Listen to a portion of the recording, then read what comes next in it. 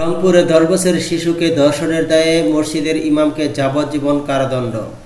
রংপুরে শিশু ধর্ষণের দায়ে এক মসজিদের ইমামকে যাবজ্জীবন সশ্রম কারাদণ্ড দেওয়া হয়েছে। রংপুরের নারী ও শিশু নির্যাতন দমন আদালত তিন এর বিচারক এম আলী আহমেদ এ রায় প্রদান করেন। কারাদণ্ডপ্রাপ্ত ওই ইমামের নাম আতিকুল ইসলাম ওরফে আতিক হুজুর।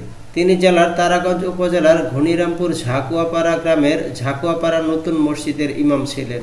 মামলার বিবরণ সূত্র থেকে জানা যায়, দুই হাজার বিশ সালের চারই নভেম্বর সকাল সাতটার দিকে তারাগঞ্জ উপজেলা ঘনিরামপুর ঝাকুয়াপাড়া গ্রামে দশ বছর বয়সী শিশুর বাড়ির পাশে ঝাকুয়াপাড়া নতুন মসজিদে আতিকুল ইসলামের কাছে অন্যান্য ছেলেমেয়েদের সঙ্গে মসজিদে আরবি পড়তে যান।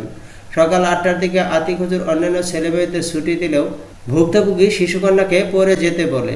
এরপর শিশুটিকে আতিকুল ইসলাম মসজিদ সংলগ্ন তার ঘরে নিয়ে ধর্ষণ করেন।